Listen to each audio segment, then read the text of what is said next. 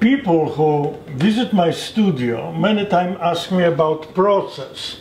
It is very simple. It is a lot of fun when you decide to combine two biggest parts of art, painting and sculpting together.